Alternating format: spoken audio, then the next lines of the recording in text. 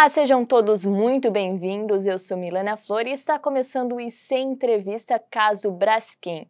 E hoje entrevisto ele, que é presidente da Associação de Empreendedores Vítimas da Braskem, Alexandre Sampaio. Alexandre, qual a sua relação com a cidade de Maceió? Então, eu sou maceioense, né? Nasci aqui em Maceió, morei um tempo em São Paulo, mas voltei, me formei em jornalismo e comecei a empreender no, no bairro do Pinheiro. Né? Minha primeira empresa, ainda quando eu ainda era estudante de jornalismo, foi é, numa rua que não existe mais hoje, que é a Travessa Manuel Menezes, que já foi completamente é, taponada e, e, evacuada pela Braskem, e depois a gente se mudou para a Rua Belo Horizonte, a antiga Belo Horizonte, hoje José Silveira Camerino, que inclusive essa semana a sede das minhas empresas foi demolida pela Braskem. Então, assim, a minha família frequenta e, e morava e atuava no bairro desde a década de 70. Meus avós, Hamilton e Elba Moraes, foram os fundadores da Igreja Batista do Pinheiro, é, que eu voltei a frequentar quando retornei de São Paulo, de Campinas, né? Então, assim, a minha relação com o bairro é uma relação profunda de, de tanto empreender quanto de moradia. Minha avó morou no bairro em dois endereços diferentes, minha mãe morava no bairro, meus avós fundaram essa igreja. E eu, durante mais de 20 anos, tive empresas no bairro do Pinheiro, até que veio esse crime da Braskem. Alexandre, você tinha quantas empresas nesse bairro? Quais eram ou quais eram as funções da sua empresa? Tinha três empresas, né? Uma era uma imobiliária que iniciou-se com o nome Remax, que era uma franquia americana, bem conhecida no mundo inteiro, que é a maior imobiliária do mundo em vendas é, e número de, de franquias também. Depois a gente devolveu a franquia, ficou, continuou com o um negócio imobiliário, mas com a marca própria chamada Levende. Também a gente tinha uma empresa de marketing e consultoria chamada Multimarketing, é, que atuava no bairro e também fora dele, e a minha esposa tinha uma, uma clínica de psicologia com oito salas, é, todas funcionavam dentro de um mesmo endereço, né? Em salas diferentes, era uma sede de quase 200 metros quadrados. Como foi ter que tirar todas as suas empresas do bairro Pinheiro?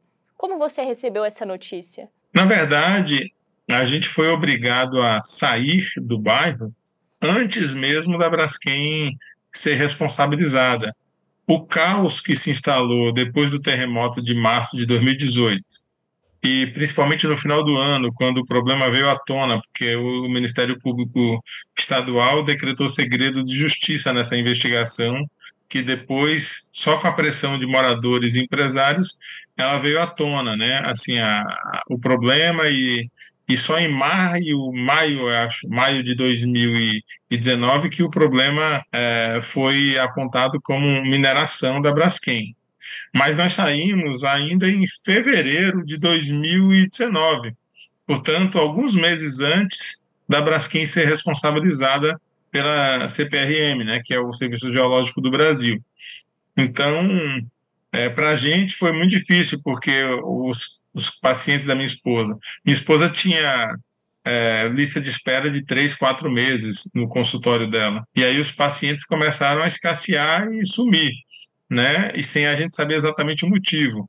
Os nossos corretores da imobiliária foram embora, a gente já não conseguia vender imóveis. Então a gente foi sentindo uh, no bolso e no movimento dos nossos negócios o problema sem ter uma exata dimensão do que causava aquilo. Antes do rompimento da mina 18, as pessoas não tinham conhecimento que tinha uma mina embaixo das suas casas? É, ninguém sabia do problema das minas. Então a Braskem, com a, vamos chamar assim, a cumplicidade do órgão ambiental, do IMA e da Agência Nacional de Mineração, ela perfurava embaixo dos nossos pés sem que a gente pudesse ter a menor noção. Então, nem o, benefício de a gente ser informado de que os planos da gente poderiam ser é, eventualmente a, interrompidos por conta de algum problema da mineração, nem esse direito nós tivemos, porque ninguém sabia do risco e do que se fazia exatamente no subsolo dos cinco bairros afetados pela mineração. Então, assim, o crime que a Braskem cometeu, é, ela, ele é de uma violência e de uma arbitrariedade que conta com a cumplicidade do IMA né, em diversos governos estaduais e da Agência Nacional de Mineração, que também cabia fiscalização, é assim é algo inconcebível, né? Nunca haver um licenciamento ambiental e as licenças serem concedidas sem nenhum tipo de audiência pública, sem nenhum estudo publicado, sem a possibilidade de discutir as áreas de impacto direto e indireto que, que um estudo de impacto exige, né? Então, é, é só mesmo o poder econômico para corromper, manipular e tornar isso absolutamente escondido durante tantas décadas. O mundo estava passando por uma pandemia, a pandemia da Covid-19, e ao mesmo tempo que era pedido para as pessoas ficarem em casa, as pessoas afetadas desse bairro tinham que sair das suas casas. Como é que elas receberam essa notícia? Imagine né, que a mídia inteira, o Ministério da Saúde, o governo federal, dizia fique em casa. Aí vinha a Defesa Civil e diz saia de casa. É, e se isso fosse com 10 casas, 30 casas, 100 casas, era algo administrável. Mas isso aconteceu com 15 mil residências, 6 mil empresas. E aí a dimensão disso afetou toda a dinâmica do mercado imobiliário. Né? Se a gente ouvisse saia de casa e você pudesse alugar uma casa equivalente e tivesse ajuda para isso, estava ótimo. Mas esse, é, esse saia de casa veio acompanhado de um aluguel social ridículo de mil reais, né, num bairro muito diverso, onde tinha mansões e casas mais, mais pobres, é, em que, assim, talvez você tivesse um barraco no, na favela que valesse mil reais o aluguel. Fora isso, todos os custos de aluguel dos outros imóveis nos bairros afetados seria sempre muito maior do que mil reais. E para as empresas, que foi o caso da gente, das três empresas, a Braskem não pagou aluguel. Portanto, nós fomos obrigados a sair com a na, eu saí antes, né?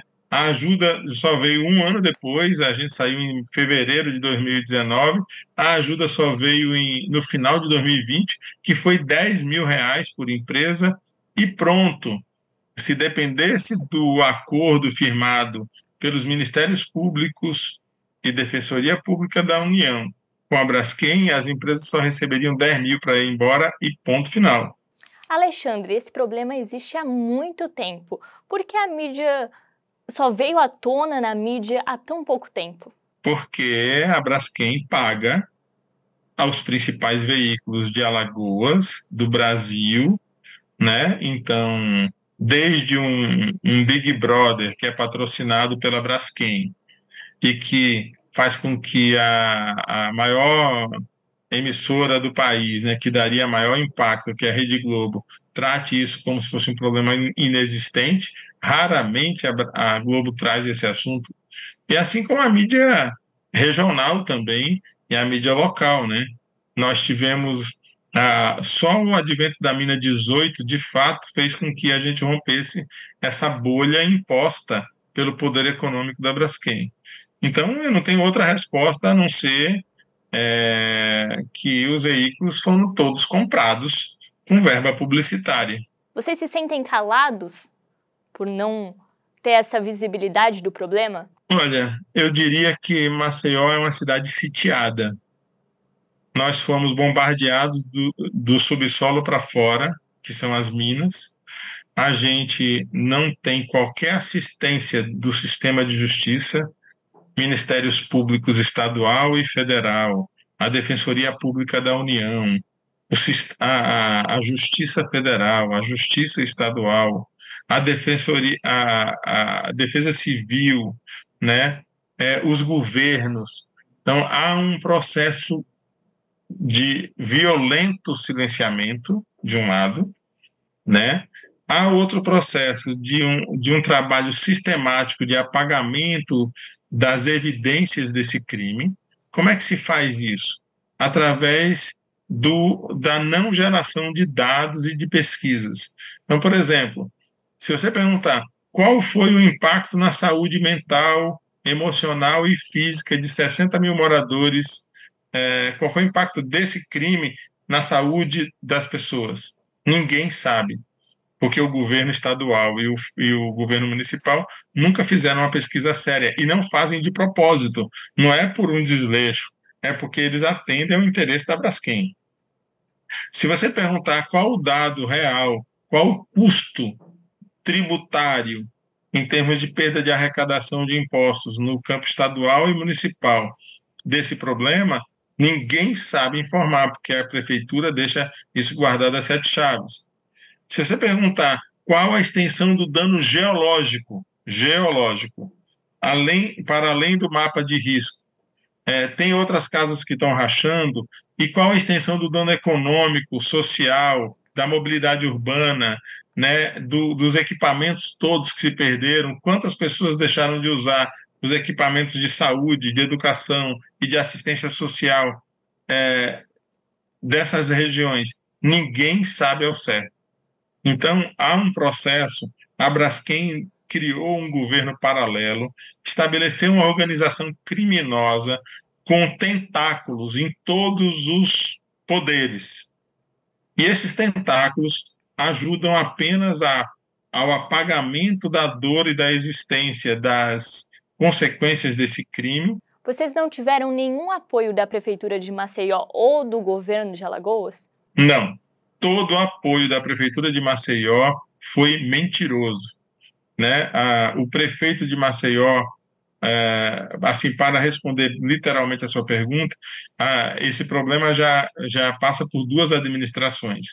A primeira administração do prefeito Rui Palmeira foi quando no em 2020, né, no final do mandato dele, ele ele permitiu que a gente ele aprovou uma lei na verdade, a, a, prefeitura, uma lei que eu, eu digo, a nossa associação, Sebrae e FEComércio, construíram para é, criar isenções tributárias e, e, e remissão de, de dívidas né, das empresas afetadas na área. Então, fora essa lei, que ainda foi no, na gestão anterior, a gente não teve qualquer apoio real da Prefeitura de Maceió. Pelo contrário, o prefeito se elegeu com a plataforma de que ajudaria as vítimas e com poucos meses abandonou completamente, fez um acordo espúrio em que vendeu ruas, praças, logradouros públicos, avenidas e, e equipamentos urbanos municipais, como escolas e postos de saúde e tal, para Braskem, pelo valor irrisório de 1 bilhão e 700 milhões, que não paga sequer a terra, a terra bruta que ele vendeu, tá? É, o governo do estado diz que nos apoia, mas não faz, um, não cria uma pesquisa, não financia um estudo real para poder dimensionar corretamente o tamanho do dano e ajudar as vítimas nesse processo. Pelo contrário, criou uma, um grupo de trabalho que não funciona, que já se reuniu diversas vezes com a Braskem e excluiu as vítimas no processo de negociação, portanto, nos usa para fazer alguma barganha com a Braskem, sem nenhum trabalho efetivo, né? E nenhum apoio real, né? O governo federal também é, não faz nenhum esforço nesse sentido. Então, o que a gente vê é o aparelho do Estado a serviço da Braskem. E aí não tem oposição nem situação ao prefeito, não tem oposição nem situação ao governador, e muito menos do governo Lula ou Bolsonaro. Todos os governos foram omissos no campo federal, estadual e municipal. Alexandre, você chegou a fazer parte desse grupo de trabalho, por que, que você decidiu renunciar? Eu renunciei por quatro motivos muito claros. O primeiro deles foi que é, a gente só constava o, meu nome e de um outro integrante do Movimento Unificado, o Maurício Sarmento.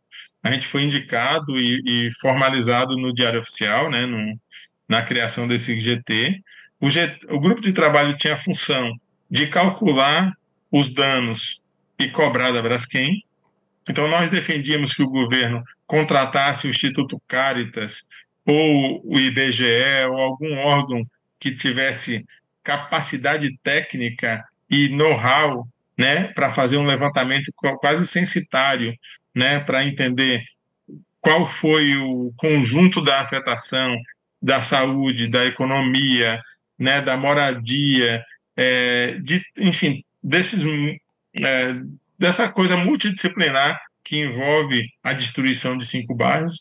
Então, primeiro, ele não fez nada concreto nesse sentido e não apoiou a gente nesse sentido. A segunda coisa foi que ele começou a fazer reuniões sistemáticas com a Braskem e não convidou as vítimas e deixou a gente de fora.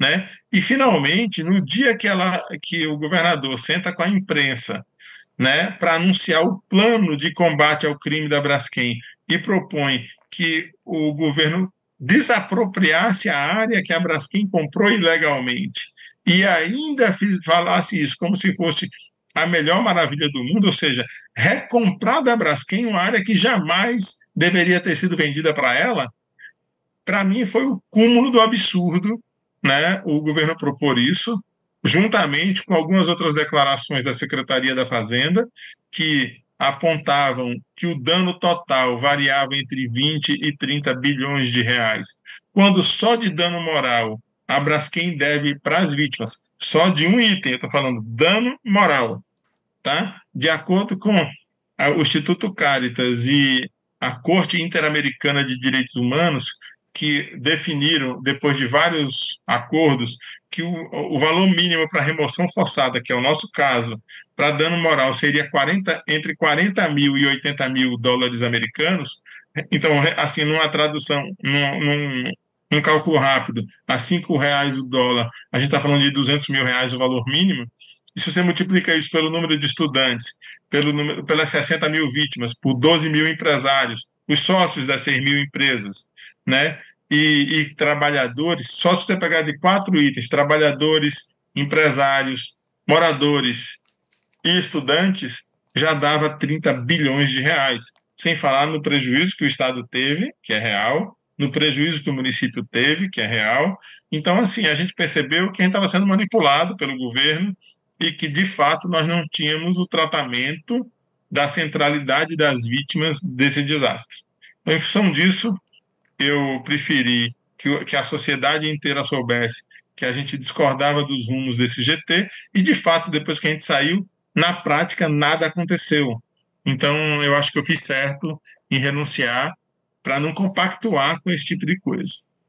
A Braskem chegou a fazer um acordo em 2020 com as vítimas, acordo esse confidencial que foi revelado com exclusividade pelo Intercept Brasil. E nesse acordo, que você, o senhor tem conhecimento, ele foi um acordo justo? Olha, é, o, houve um, um, conjunto de quatro acordos, né, assim, que nortearam a, a maneira como a Braskem tratou as vítimas. O primeiro acordo foi o acordo de compensação financeira e, e apoio à realocação, que foi o acordo que norteou é, o, o relacionamento da Braskem com as vítimas. O segundo acordo foi o socioeconômico ou socioambiental, que de, de danos extrapatrimoniais, que definiu o tamanho do imbróglio, o tamanho do, do custo que a Braskem teria com a sociedade como um todo. E o terceiro acordo, que na verdade foram, assim, foi o acordo dos flechais, que manteve um conjunto de pessoas ilhadas em lugares que não poderiam jamais ter habitação, depois desse problema. E, finalmente, o quarto acordo, o quarto e o quinto acordo foram com a prefeitura desse 1,7 bi. Então, vamos ao primeiro acordo. O primeiro acordo, ele, ao invés de indenizar, ele transformou a Braskem em proprietária das áreas que ela estava pagando. Então, foi, é, aconteceu da seguinte maneira. Olha, olha o que, que os ministérios concordaram. Primeiro, você entrega a posse do seu imóvel da Braskem, você sai do seu imóvel sem saber quanto a Braskem pagaria, quando pagaria, como pagaria e como seria esse processo todo. Apenas por um aluguel social de mil reais, independente do tamanho da sua casa, e zero para os negócios. Nesse contexto, as pessoas saíram, foram, na verdade, removidas à força pela Defesa Civil, que eram áreas de risco. A Braskem procurava quando queria essas pessoas, e quando você não concordava com o valor dela, ela, deixava, ela simplesmente silenciava, esperava mais seis meses. No meu caso, demorou três anos. Como uma empresa consegue ficar três anos fora do fechada, sem faturar e sem quebrar, tá? Então, o, essa foi a lógica. Você expulsa, fragiliza, torna aquelas pessoas absolutamente vulneráveis e depois põe elas para sentar com a Braskem. Só isso, por si só, já é criminoso. Porque é, é, no Código de Defesa do Consumidor ou na lei do poluidor pagador, você não pode pôr desiguais numa mesma mesa, né? O Ministério Público, ao invés de garantir equidade no processo de negociação, pôs individualmente cada vítima para negociar com a Braskem no tempo que ela quisesse, do jeito que ela quisesse, no formato que ela quisesse. E se você não aceitasse, ela, a diria, dizia para você: beleza, vai procurar justiça e espere 30 anos sem casa. E o segundo acordo traz uma outra coisa gravíssima. Ele, ela, esse, o segundo acordo define o valor total do dano antes de haver um diagnóstico. E para garantir que esse diagnóstico esteja de acordo com o que foi colocado nesses termos, assinados pelos procuradores, promotores e defensores com a Braskem, sabe o que eles aceitaram? Que a Braskem indicasse a Tetratec e a Diagonal, que são empresas que tinham na, no seu quadro societário um ex-conselheiro da Braskem. Ou seja, Bras, os ministérios públicos aceitaram que a Braskem indicasse uma empresa ligada a ela para definir qual o tamanho do dano que a sociedade inteira teve. Isso é escandaloso, isso não resiste a um crivo de, um, de uma auditoria, né? Mas o sistema de justiça está completamente vinculado à Braskem nesse sentido. E não teve né? nenhuma então, fiscalização nisso tudo? Claro que não. Nem o próprio Ministério Público sabe a quantidade das vítimas, exatamente, porque está tudo. Ele entregou a raposa para cuidar do galinheiro. Então, a, o, se você perguntar para o governo do Estado, para a Prefeitura de Maceió, para a Defesa Civil, para o Ministério Público Estadual, para o Ministério Público Federal, para a Defensoria Pública, quem é que tem os dados totais desse crime? Só uma pessoa tem. E é uma pessoa jurídica chamada Braskem através de dois braços: a Diagonal, que fez o diagnóstico socioeconômico, e a Tetratec, que fez o diagnóstico socioambiental.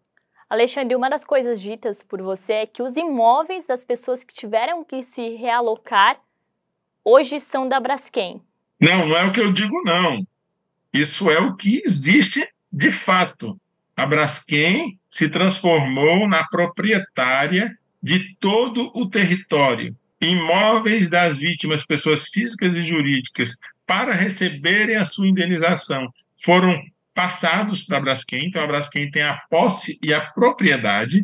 Houve, na verdade, um processo de compra e venda, ou seja, eu, eu cometo um crime, eu desvalorizo os imóveis dos bairros que eu afundei e eu compro barato.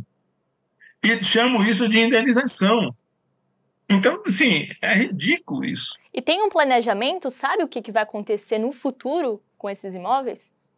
O acordo socioambiental permitiu a exploração comercial. O primeiro acordo deu a posse à propriedade. Então, nenhuma vítima da Braskem que foi indenizada é dona mais do imóvel. A, os donos são. A, a, a propriedade agora é da Braskem. Depois, a Braskem ganhou de mão beijada o direito de explorar comercialmente se vier a estabilizar o solo. Óbvio que estiver afundando, mas quando tiver tudo pronto, daqui a 20 anos, ela vai poder usar. E, finalmente, o terceiro, o acordo com a prefeitura, ele cria uma coisa ainda mais grave, porque a prefeitura vendeu a quitação total dos danos passados, presentes e futuros, toda a área de ruas, praças, logradouros públicos, calçadas e e imóveis para a Braskem.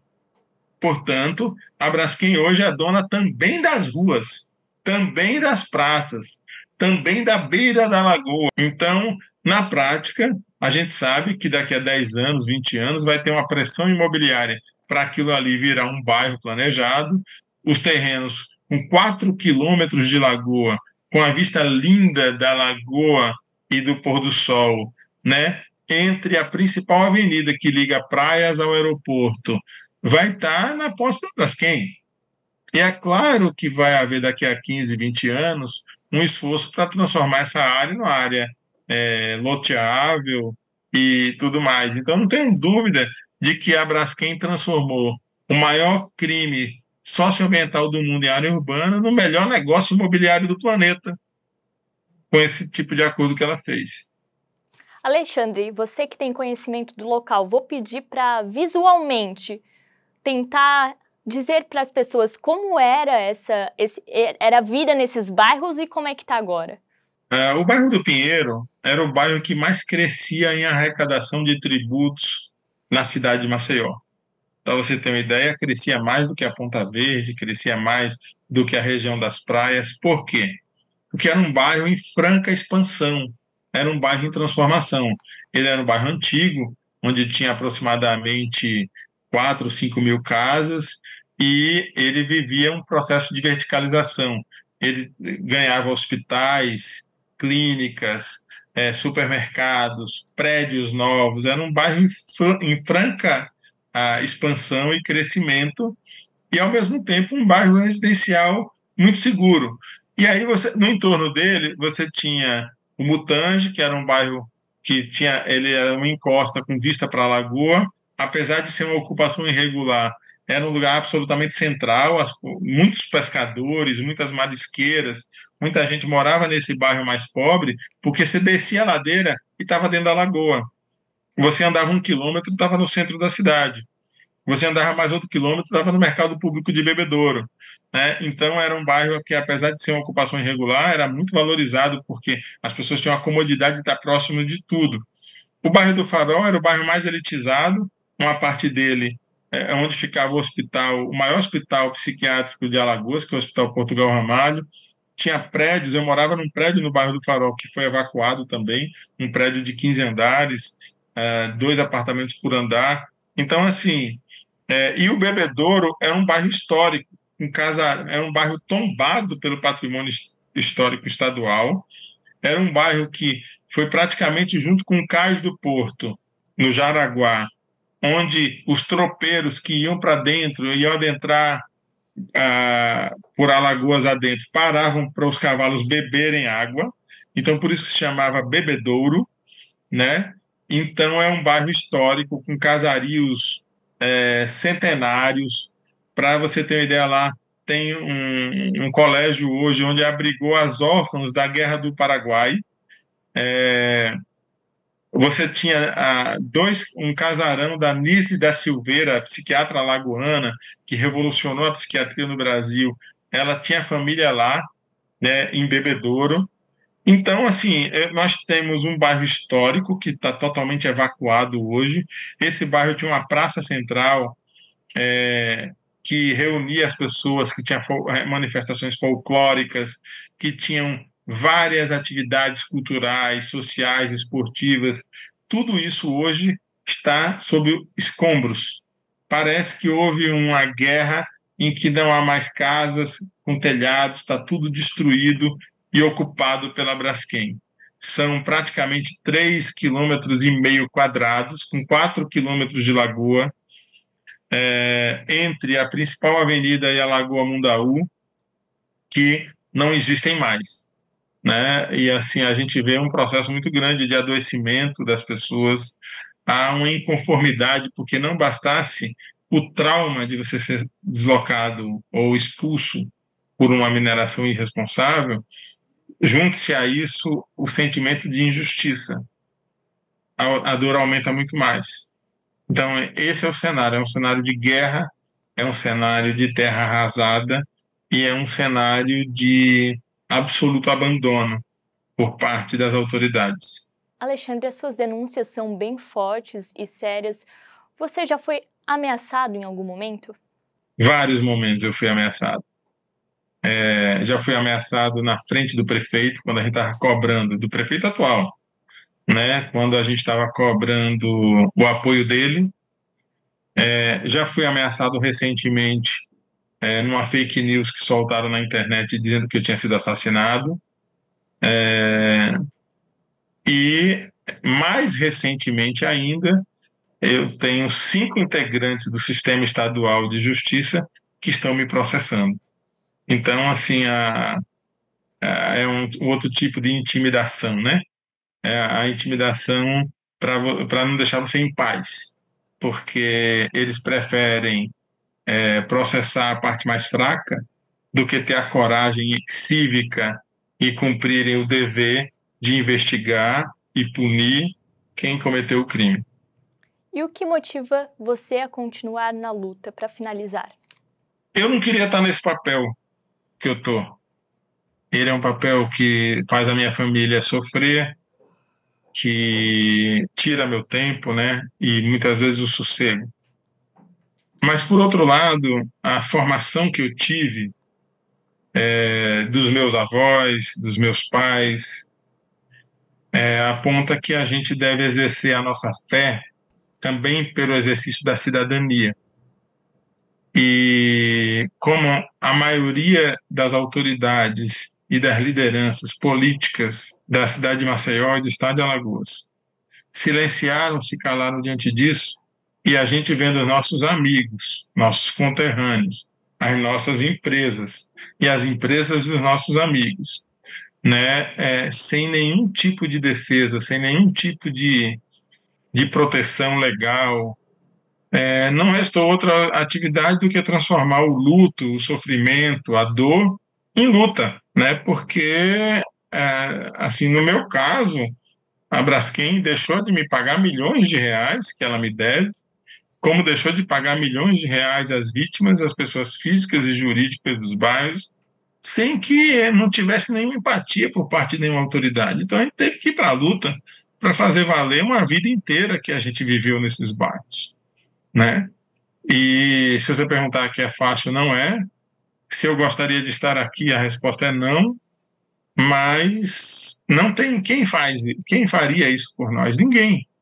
Então, a Bíblia diz assim: que quando, quando os justos se, se calam, até as pedras clamarão. Né? E, no caso, as pedras de sal estão clamando através do colapso das minas, trazendo esse crime à tona. E a gente que tem consciência política, consciência cívica e um pouco de empatia e de solidariedade não podia ficar calado diante de tudo isso. É por isso que eu sigo nessa luta. Alexandre, muito obrigada pelo seu depoimento e pela sua entrevista corajosa. Espero que esse programa ajude a gente a, a punir criminalmente a Braskem, o IMA, a Agência Nacional de Mineração e o BNDES, que financiou essa atividade criminosa, e também faça o Senado e a CPI do Senado, que está hoje em curso no país, a tratar da maneira correta e apurar as ações dos ministérios públicos e das defensorias, que, na minha opinião, elas agem de um modo a cobertar o crime da Braskem e abandonar as vítimas à própria sorte. Muito obrigada a todos vocês que assistiram a entrevista até o final. Caso você tenha gostado, deixe sua curtida, seu comentário, se inscreva no nosso canal. Muito obrigada!